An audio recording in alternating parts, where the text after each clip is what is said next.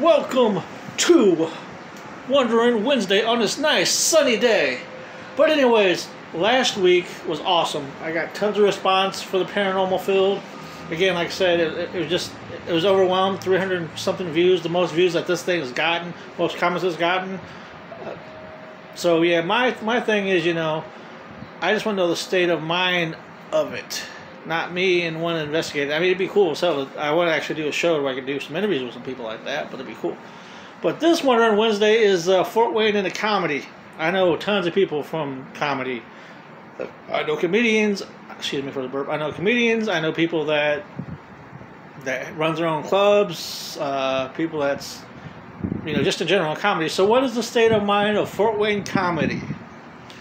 I know this is a, a very, very subject that's sore on a lot of people. But what is the state of mind of Fort Wayne comedy? The clubs, the promoters, and the comedians. What is the state of mind of it? I got to work with some great comedians. No matter what company they work for, no matter what they do, I respect them for the aspects of all their work. Again, like I said, this is Wondering Wednesday where what is the state of mind of the comedy aspect here in Fort Wayne, from clubs, the comedians, just etc. So I want to know is this Wondering Wednesday the state of mind of comedy clubs, comedians, and etc. So today's topic is comedy in Fort Wayne, Indiana. Enjoy.